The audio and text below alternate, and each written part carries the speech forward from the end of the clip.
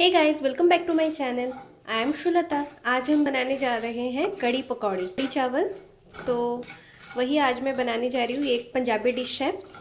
और मेरा तो बहुत फेवरेट है। मतलब मेरे घर में ये सब खाते हैं, मेरे इन लॉज के घर पे नहीं। मैंने ऑयल दिया है टू टेबल स्पून के करीब मास्टर्ड ऑयल उस पर मैंने दिया है एक half dry lips sorry dry red chilli थोड़ा धनिया पाउडर जीरा पाउडर मेथी, पाँच फोड़न और तेज पत्ता और होल गरम मसाले, इलायची, लौंग एंड दालचीनी। दे के बहुत अच्छे से मैंने भून लिया है। इसके बाद मैं इसमें डालूँगी ऑनियन तो इसे पहले मैं फ्राई कर लूँ। चावल के साथ खाइए गरम गरम रोटी के साथ खाइए, बहुत यमी बनता है। क्या प्रिपरेशन की है, मैं आपको दिखाती हूँ। जिंजर और गार्लिक क्रश कर लिया है। ग्रीन चिली रखे हैं चॉप करके। टोमेटोज रखे हैं चॉप करके और मैंने प्याज के पकौड़े बना लिए हैं।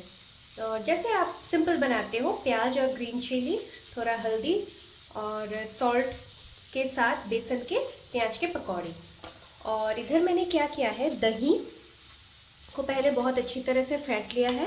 उसके बाद आ, इसमें बेसन डाला है।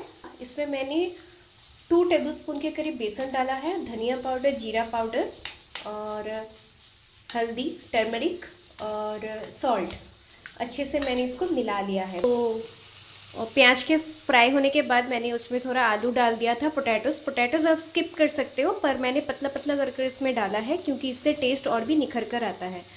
तो पोटैटोस भी फ्राई हो गए थे। उसके बाद मैंने ग्रीन चिली जिंजर जो क्रश किया हुआ गार्लिक जिंजर और चॉप किया हुआ टोमेटो सब डाल के अच्छे से इनको भून दिया है।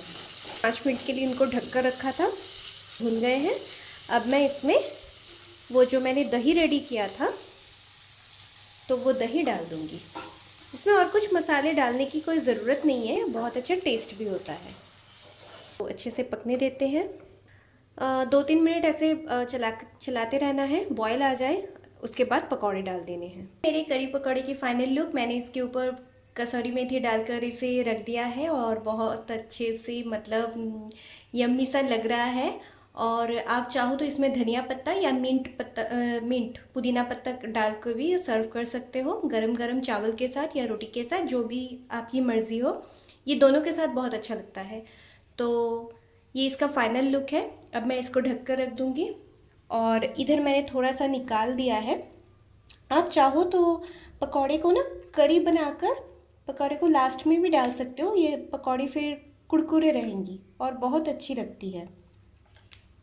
बाद में भी बहुत अच्छी लगती है, पर आप ऐसे भी बना के खा सकते हो, रोटी के साथ तोड़ तोड़ कर या फिर चावल के साथ। और बस इतना ही आज के लिए। आप बताना, आप बता बना के बताना कैसा लग रहा है। आप कमेंट ज़रूर करना लाइक शेयर करना मत भूलना। और मेरे चैनल को जिन लोगों ने अभी तक सब्सक्राइब नहीं किया है, वो सब्सक्राइब करना। बस, और क्या। खाते रहिए एंजॉय करते रहिए, बनाते रहिए, बस सबको खिलाते भी रहिए। अकेले मत खाइए।